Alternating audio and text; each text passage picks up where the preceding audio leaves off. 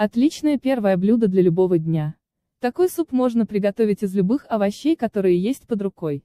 И, конечно же, которые вам больше нравятся. Очень вкусный и простой в приготовлении овощной суп. При подаче добавьте в тарелку немного сметаны. Также при варке можно добавить к супу горсть вермишели. Детям очень нравится.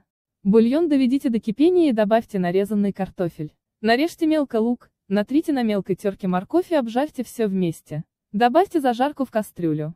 Кабачки нарежьте кубиками. Обжарьте минут 5-7. Добавьте измельченный чеснок. Затем добавьте обжаренные кабачки в суп. Добавьте измельченный укроп. Посолите по вкусу. Проварите все вместе 2-3 минуты. Приятного аппетита!